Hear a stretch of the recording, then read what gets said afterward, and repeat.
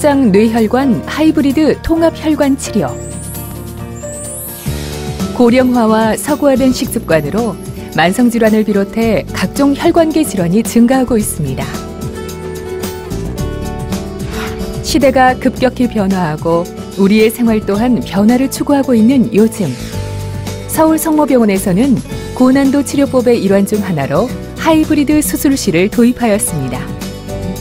하이브리드 수술실 도입은 심장, 뇌혈관 등 다양한 고난도 혈관 수술을 원스톱 환자 맞춤형 통합 진료로 안전하고 빠르게 치료할 수 있습니다.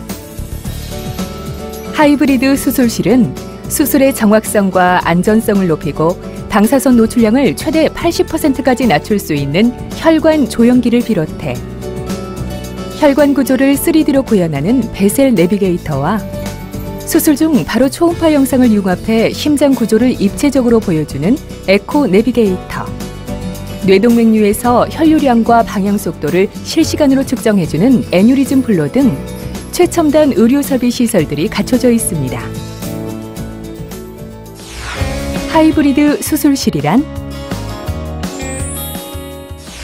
하이브리드 수술실에서는 혈관 수술과 시술을 동시에 할 수 있습니다.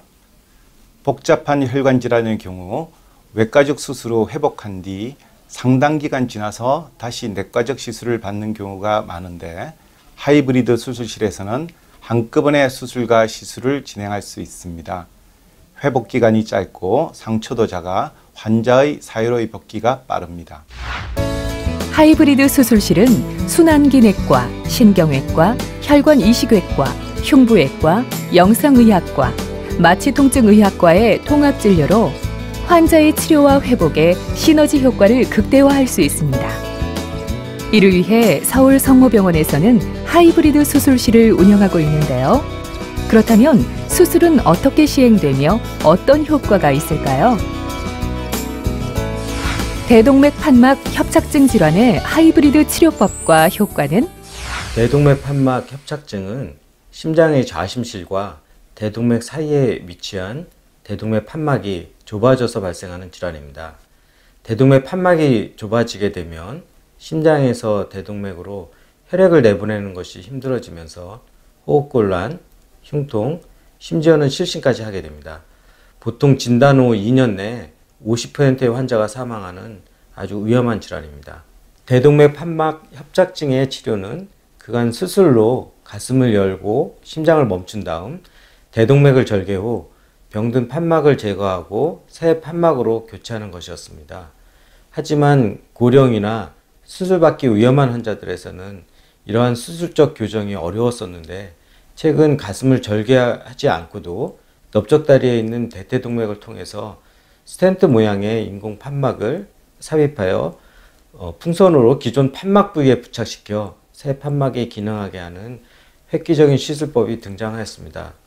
이를 경피적 대동맥 판막 치환술이라고도 하며 영어로는 TAVI라고도 하는데요. 이러한 새로운 시술법은 가슴을 절개하지 않는다는 장점이 있기 때문에 고령의 대동맥 판막 협착증 환자들에게 새로운 희망이 되고 있습니다. 서울성모병원에 하이브리드 방이 생기면서 저희가 우리나라 최초로 한 시술이 있습니다. 이분은 두 차례나 다른 병원에서 심장 판막 수술을 받았고 그 판막 옆으로 계속 역류가 굉장히 심하게 있어서 숨이 너무 차서 견딜 수가 없는 분이었는데 더 이상 수술은 불가능했습니다. 그래서 저희가 시술로 이제 플러깅이라는 시술이 있는데 그 시술을 저희가 시행을 했습니다. 근데 우리나라 최초로 echo navigation, 즉 심장 초음파 내비게이터라는 기술을 최초로 이용해서 아주 정확하게 그 위치를 찝은 다음에 그쪽, 그곳에다 저희가 이제 plugging이라는 시술을 했습니다. 그래서 굉장히 성공적으로 시술을 마쳤고 굉장히 그 역류 사이즈가 컸음에도 불구하고 두 개의 plugging을 이용하고 그 다음에 심장 내비게이션을 이용해서 아주 잘 막았던 국내 최초의 케이스를 저희가 성공적으로 시행했었습니다. 심장이 뛴다는 것, 삶이 이어지고 있다는 것이죠. 하지만 심장동맥에 문제가 생긴다면 삶은 달라집니다. 관상동맥 치료의 최고 선택, 하이브리드 치료. 관상동맥 질환의 하이브리드 치료법과 효과는 관상동맥 질환이라고 얘기하는 것은 저희가 심장 관상동맥이라고 하는 심장 근육을 먹여 살리는 동맥에 동맥 경화가 왔을 때를 얘기합니다. 흔히 협심증이라고 하는 것과 일맥상통하는데요. 이 협심증은 증상이 흉통이 생기거나 또는 호흡곤란이 생기거나 하는 경우에 협심증이라고 합니다. 대신 협심증을 정확하게 우리가 진단하는 데는 관상동맥 조영술이라는 시술이 필요하고요. 그런 검사를 통해서 70% 이상 좁아졌을 때 거기에 스텐트를 넣거나 또는 다른 방법으로 흉부외과에서 관상동맥 우회술이라는 시술을 하게 됩니다. 다만 관상동맥 우회술을 하는 환자군은 전체의 한 5에서 10% 안쪽이고요. 이게 너무 병변이 많다거나 또는 병변 위치가 스텐트를 하기에 좋지 않은 부위 또는 칼슘이라고 하는 것이 혈관벽에 많이 침착돼 있을 경우 너무 딱딱해서 저희의 시술이 용이하지 않거나 워낙 교과서적으로 나오기는 당뇨를 가진 환자가 혈- 관상동맥에 두 혈관 이상을 협착증이 있다 그러면 관상동맥 우회술이 스텐트 시술보다는 우월하다고 돼 있기는 합니다. 서울 성모병원에서는 현재 이제 흉부외과 선생님이랑 같이 통합 진료를 통해서 스텐트와 수술도 같이 할 수 있는 그런 아주 유용한 방법이 있습니다. 관상동맥 우회로술이란 협심증이나 심근경색으로 진단된 환자 중에서 여러 혈관의 병이 있는 경우, 주요 혈관에 심한 병이 있는 경우, 스텐트 시술이 불가능한 경우, 심근경색으로 인한 합병증이 생긴 경우 등에서 시행할 수 있습니다. 혈관이 좁아진 부위 뒤쪽에 환자 본인의 혈관을 이용해서 새로운 길을 만들어주는 수술로 스텐트 시술에 비해서 병의 재발률이나 장기 생존율이 좋은 것으로 되어 있습니다.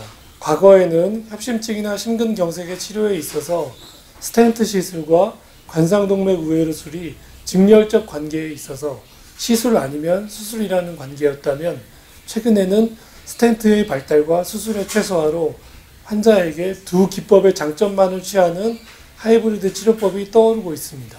즉, 침습도가 낮은 시술의 장점과 개통률과 만기 성적이 좋은 수술의 장점을 혼합하여 간단하면서도 장기적인 성적을 좋게 할 수 있는 치료법이라고 할 수 있습니다. 하이브리드 치료는 순환기 내과와 흉부외과의 긴밀한 협업이 필수적인데요. 저희 서울 성모병원에서는 과거로부터 두 임상과 간의 협업으로 하이브리드 치료를 해왔으며 최근 개소한 하이브리드 수술실로 인해서 더 좋은 시설과 장비의 도움으로 환우분에게 질 높은 맞춤형 치료가 가능하게 되었습니다.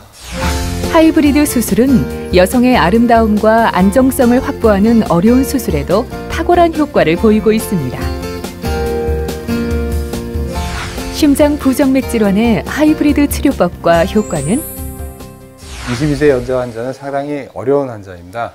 생후 태어나서 5살 때 선천적인 심장 지원을 갖고 있어갖고 선천성 QT 연장 증후군하고 선천성 방실 차단으로서 심장마비가 여러 번 왔었습니다. 22세가 돼서 왔는데 이제, 배, 배에다 심었었던 박동기의 배터리는 다 없어졌고요.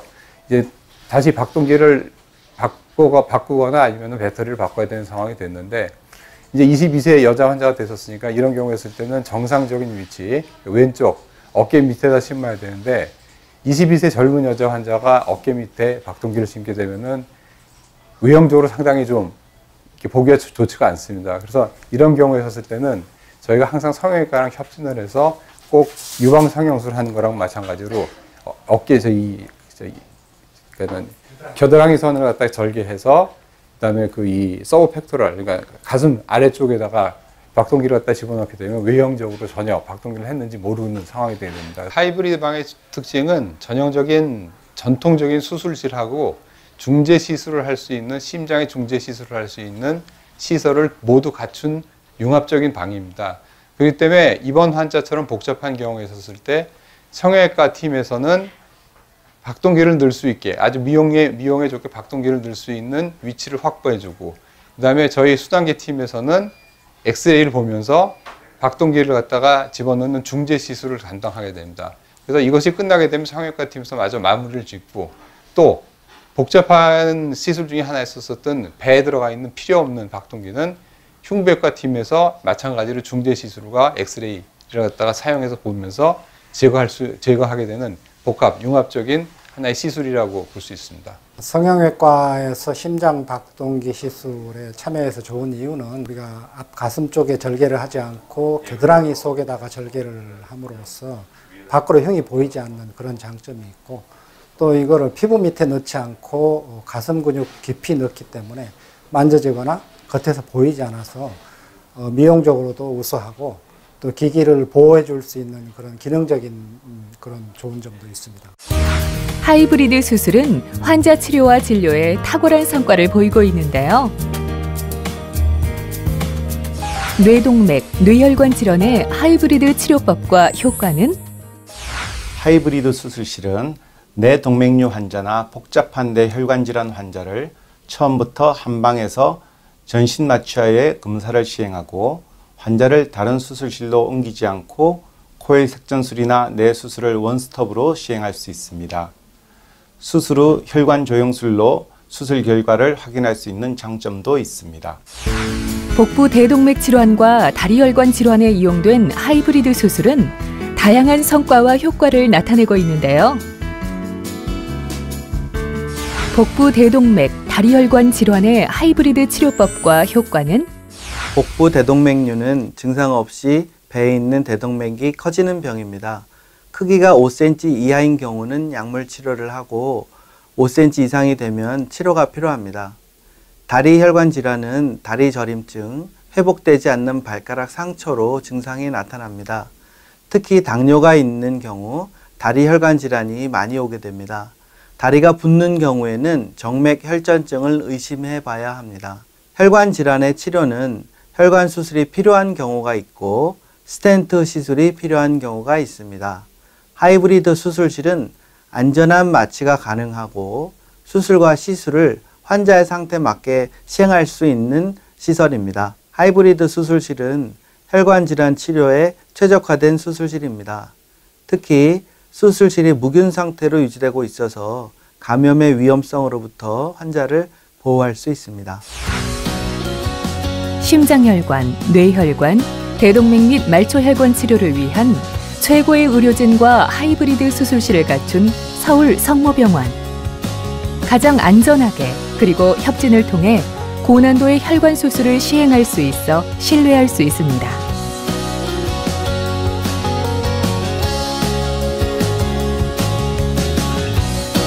서울 성모병원은 언제나 여러분의 건강을 위해 최선을 다하고 있습니다.